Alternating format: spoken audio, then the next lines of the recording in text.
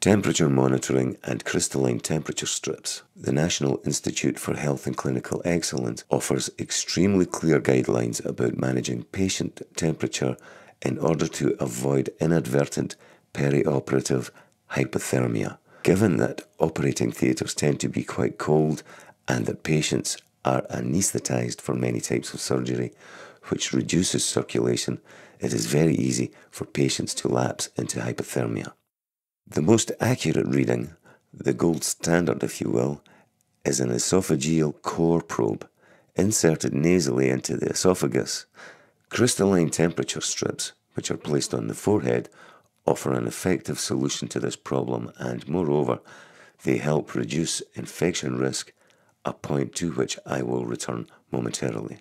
Crystaline temperature strips are able to continuously monitor a mathematically equivalent correspondent of esophageal core and are more effective at doing so than rectal or axillary skin alternatives.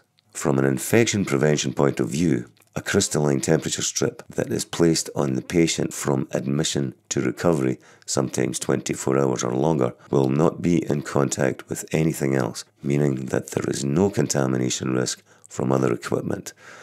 In contrast, any equipment that must be handled in order to monitor temperature or repeatedly applied and then removed carries a much greater contamination risk.